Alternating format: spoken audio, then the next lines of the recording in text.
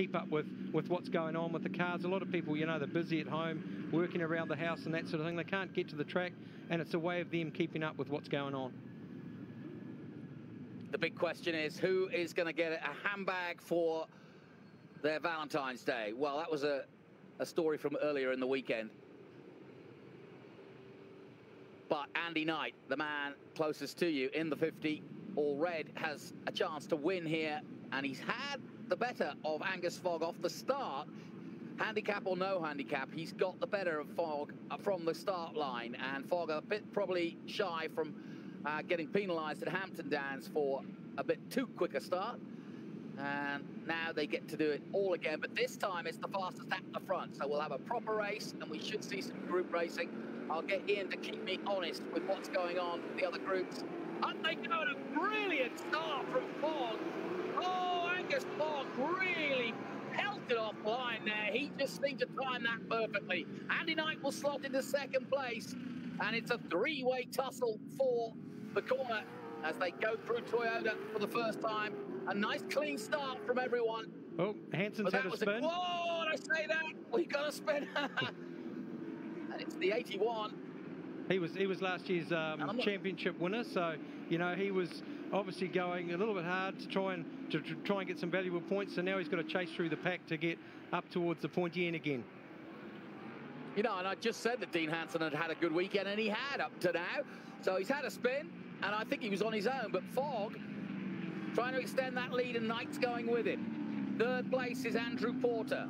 Hanson's dropped out of fourth, obviously, after that spin. Craig Boot is right there. Let's have another look. Oh, yeah. He just got on. To, yeah, he was. Uh, yeah, I think he may have had a tap as well, but uh, he got the power down while his rear left was just on the sticky grass, and it spun him. And here comes Andy Knight. Look at the speed of Andy Knight down the front straight, but Fogg holds him off. And into Toyota they go again. These two have been at each other's throats all weekend long in the best way possible. Good, clean fighting between them. But Andy Knight yet to get the better of Foggy on a one-on-one -on -one battle anyway. He certainly used the traffic in the handicap race to take that third yesterday. Clark Hopkins is and coming into the they pits. are really... Ah. Well, I hope it's not his arm that's hurting. I can't believe he raced with, with a broken arm, but never mind. He still won. Yeah, apparently he fell off a roof. He's uh, he's in the roofing industry, and yeah, obviously he was up working on a on a roof and fell off and broke his arm. So, but he's still come out racing. Yeah. There's a story there somewhere. Back over the oil they go, and still Fogg and Knight. We had a foggy morning, but we don't want a foggy night.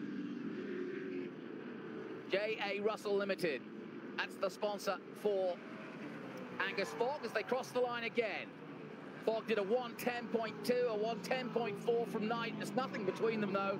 And these two pulling away now by over two seconds from the rest of the field. And I think it's going to be a two-way battle. And then we'll settle down for some good battles for the overall podium. Craig Boot up there at the moment. Andrew Porter fourth. We heard from him. Matt Spratt having a good run. He's up to fifth. Michael Wallace, who needs the points, is sixth. Can you give me an update on the points, Ian? Has it changed dramatically from what I what I got from this morning? Oh, it's, it's, hard. It's hard to say whether it's changed dramatically. I mean, um, yeah. I mean, the, the, guys themselves work out the points. I actually send it off to a guy, Andrew Turner, who actually races with us, and he does all the points. So I'm not 100% sure where they're all sitting and situated as far as that. Or like by the end of end of the week, I'll know exactly where they're sitting. I'll get a printout, and um, until I get that, I don't know. I mean, I, I can't work out the points and tell you exactly where they are. But they sort of they work it well, out I themselves. I, I understand that. I understand that because in line with the rules of everything being, you know, of state of the order, a state of the art, you have to have a computer from the 70s. So that makes things hard when you're trying to use the calculator because I don't think even calculators were born before no, that. Definitely so, not. No, yeah, definitely makes not. sense. Yeah. And you, you're working it all out on the abacus, Mr. Turner, I guess. Yeah, yeah. And um, the other thing too is that if they have any contact or anything like that, they lose points for that as well. So if they throw a contact in there, or a, like I said with McKelvey, he had a breakout, so he could be working out the points off that. But he's actually got a breakout that's going to put him back a few spots in the in the finishing order of the last race. You know, what's interesting to go is seven laps to go. If these guys stay on this kind of pace, they could easily catch some of the back markers. And although it's not a handicap race, it could change the complexion of this because they are glued together. Andy Knight, with the lights flashing as he has been uh, all weekend long, or at least on, is desperately trying to take the number 11 and it looks as though Dean Hanson's got back and going and now he's uh, siding his way through. So there's no damage to the car, I'm glad to say. Yes, yes. He's um, coming up on Bruce Kest, who's currently sitting ninth. So he's got from 19th back up to ninth again. So he's sort of carving his way through the field, trying to get some valuable points. He's got to be careful, though. Yeah. He's pushing too hard out of Higgins. Look at him sliding that way. A little bit of drifting there. Not frightened to go over the oil patch, but it's drying up now. And uh, now he goes round the outside at the last corner. And he'll try and slingshot himself round, and he does just that. Uh, nicely done. Good brave manoeuvre that at the last corner here at Manfeild. Ah, it sounds glorious, doesn't it? Cross the line and makes up another spot. Rick Van Sweat is going okay at the moment. The man who went off last time out in the 67, he's still there. There's the Chickadee number two car of Andy Sinclair. Sinclair down in 13th at the moment as we go back to the leaders. And Angus Fogg doing the business and holding on. But Andy Knight has been looking for a chance to have a proper race with Angus Fogg for the last two rounds, and now he's got it. And I think these two are going to be glued together. Who's your money on, Ian? Oh, it's, it's, either it's either going to be Foggy or Knight, I would think. Um, that's um, Tony Boyden who just had a spin. Um, he'll get back on the track, though. I'd say still running. So, oh, and Andy Knight's. Uh, oh no! Oh. No! No! No! Andy Knight. Obviously pushing too hard, and tyres have gone off, and he's gone off. Well, his day was going good, but then it all went horribly wrong. Let's have a look. Oh, well, he's had a bit of a tap there by the looks of that, it. Yeah, yeah, okay. Yeah, got a tap from the 65, no doubt about it. Shane Johnson turned him round at the uh, hairpin. But I wonder what happened to our man, Andy Knight. Well, they're watching on, on the sidelines. Looking concerned, as well they might be. But that has just played perfect for Angus Fogg because now he can relax a little bit. His last lap of 109.5, so he's on the pace, up the pace even. And as you can see, he's not slowing down, even though he's not under pressure. But that's a real shame for Andy Knight. I was really hoping that uh, he'd take this to him. He's got back going again, um, but he's got a lot of work to do. And he's now going to have to do exactly what a couple of the others have done, which is try to slide his way back but uh, in terms of attacking Fogg, I think that game is over, though. He could get some points here. And these are going to be important points for Knight because in the last three races, he's put himself in contention. And so this will be a big, big problem uh, if he's not going to get decent points out of this one. So he's going to be pushing on, Ian, I think. Yeah, yeah, I think I think Foggy might have this round, you know, in the bag basically if he if he finishes and finishes this race and wins. They were very very close, you know. Even in the qualifying, we used some points from qualifying as well, and where they qualify, Knight's been up, up in the reverse griddies and been been in front of Foggy in one race by two cars, back behind in the the next one. So it's it's very very close between the two. Talking of close between the two, look at this then, Boot and Porter. Craig Port Boot in second place, just ahead of Andrew Porter in the number three. Yeah, Andrew and behind Porter. them, Matt Spratt. Yeah, Andrew Porter's sort of come to this class this year. He's just got, got that car going, so he's he's sort of fitted into it quite well, and he's up the pointy end and that sort of thing. He bought that was an X car from somebody else that sort of got out of racing. He's picked up that car. He's out there, but he's come from truck racing and um, Porsche racing as well. So you know he, he still knows how to pedal a car pretty well. Yeah, that's an interesting combination to go from Porsche to truck racing. But that feels a bit different. Yeah, definitely. And Matt Spratt's doing really well as well. I mean, he's he's come into this class just this year in, in a car, and, and um, he's also racing in the Ute series, you know, which is more of a contact series than this. Yes, exactly. So we look at the 26 of Matt Spratt, the man you just mentioned. I do like the look of that car. It's boxy, but it's pretty too. Yeah, yeah, he, he, he loves the car and he doesn't want to damage it.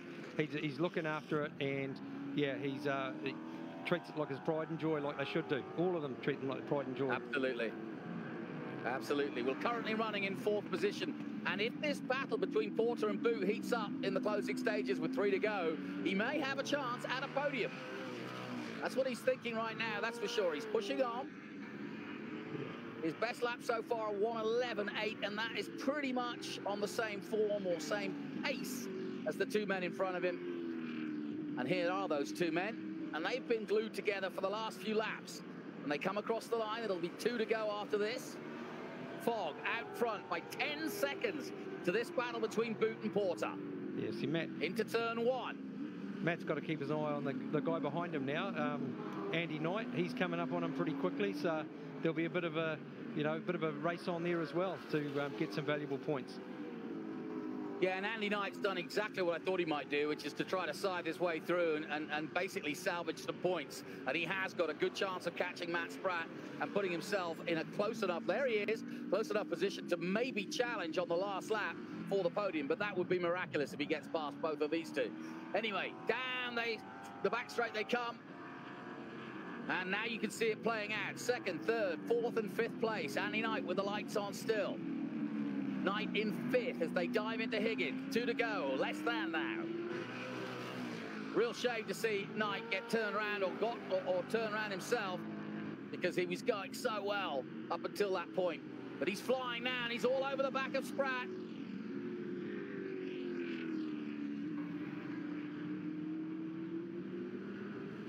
And Spratt's holding on, but uh, I think it's a matter of time. And sure enough, Andy Knight will past him as he crosses the line and does so. He's up to fourth now, and he can see the two in front of him, ahead of him. Will he have time in to catch him? Don't know. Last last lap board's just come out, so you know it's um, you know they only got this lap to go to, to, to get get up there and do it. So we'll see how he goes. And you got to remember that well, Porter was sliding. Porter and um, Boots' car are probably similar horsepower to Andy Knight's anyway. So it's it's it's really if they make a mistake, I would think that they're going to get through, that he's going to get through and, and pick up a podium, but it doesn't look like it at this stage by the looks. Yeah, he's not close enough. I did see Porter, uh, the second of these two cars, sliding around out of uh, Toyota. We'll watch him exit here out of Higgins. But I agree with you, the 50's going to struggle. He's only got two corners to go.